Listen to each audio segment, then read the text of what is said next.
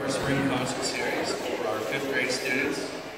Recognize that this is the last performance for many of our students, so before we begin, I'd like to give you all the opportunity to approach the stage, take some pictures. What I would ask is that you do your best to stay off.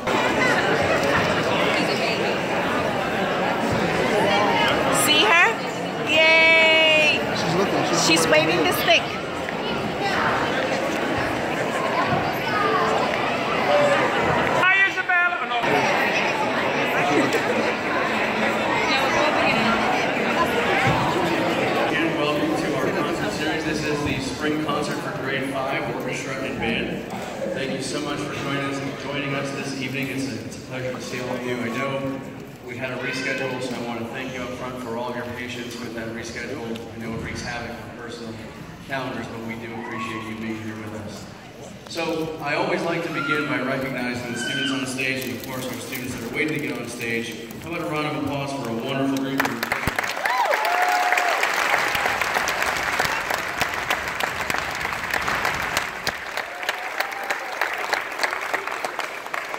So you have in front of you and to the side of you a wonderful group of children that work really hard every day.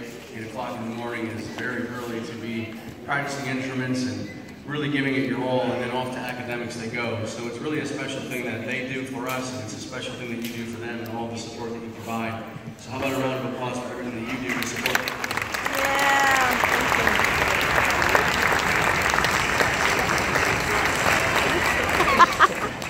We're also very fortunate to have the group of music teachers that we have here, you and the hard work of our children, and a by the entire district and the music department.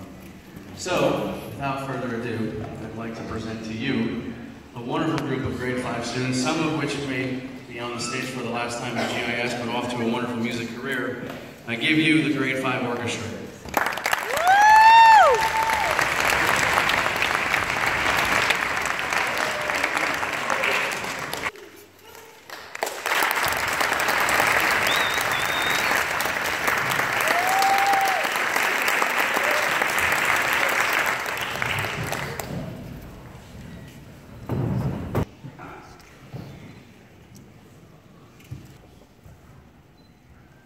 Hello and welcome to the GIS 5th grade band and orchestra concert.